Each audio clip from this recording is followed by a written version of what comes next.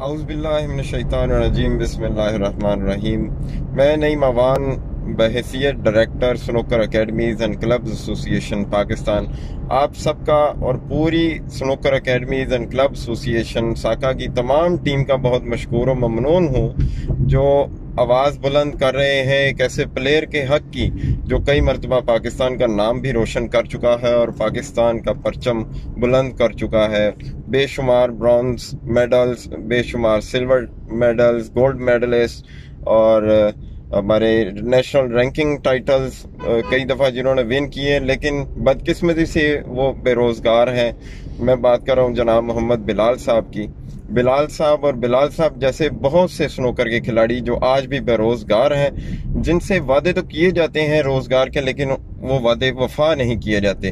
تو ہم سب مل کر انشاءاللہ ان تمام کھلاڑیوں کے لیے، پوری سنوکر انڈسٹری کے لیے، جو جتنے بھی لوگ ہمارے بے روزگار ہیں، ان کی آواز بلند کریں گے اور تب تک یہ کام ہم اپنا فرض سمجھ کے کریں گے جب تک حکومت وقت ان لوگوں کے لیے روزگار کی بحالی کا بیڑا نہیں اٹھا لیتے۔ انشاءاللہ آپ سب دوستوں کا بہت بہت شکریہ۔ اللہ حافظ۔